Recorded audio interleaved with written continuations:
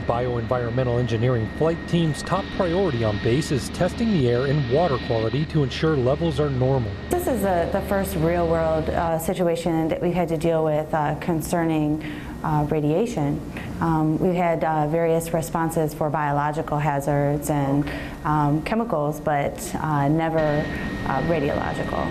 The recent natural disaster brought new challenges to the team, which had to be met.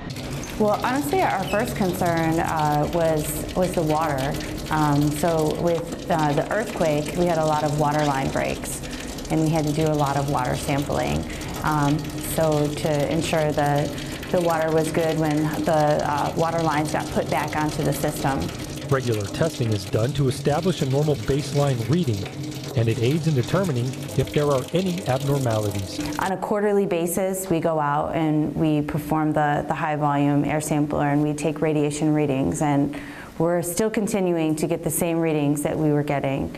Um, a few months ago. The air and water samples have shown that the base is not in any immediate danger.